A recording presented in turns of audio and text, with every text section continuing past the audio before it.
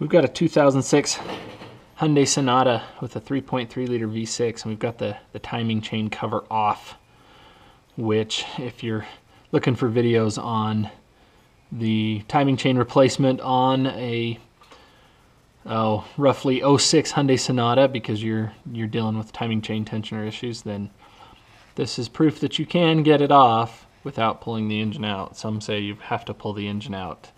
And while that adds some convenience to cover removal and installation, it is not absolutely essential. Anyway, so we're looking at the timing chain tensioners.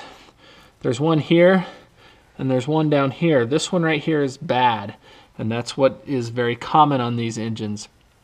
What happens is it loses its ability to to properly tension the chain, um, which which causes a couple different things.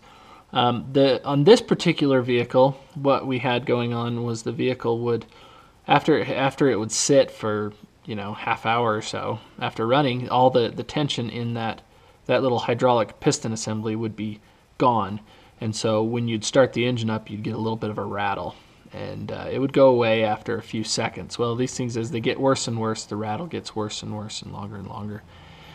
Anyway, common enough issue, but um, I'm going to move this engine a little bit. You can see, you know, as this engine rotates, that's the direction it it it would normally rotate if you were if the engine was running. But watch that tensioner.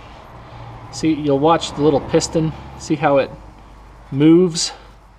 Okay, shouldn't be doing that. The one down below is sitting pretty solid, pretty firm. But this one here is. Oh, did you see that?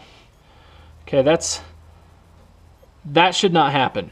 Now, when the engine's running and you've got oil pressure behind it, you're not going to get that happening, and unless the tensioner gets really bad, which which sometimes they do. The chains can actually get sloppy enough that you can you can get some rattling on the the timing chain cover that that can cause problems.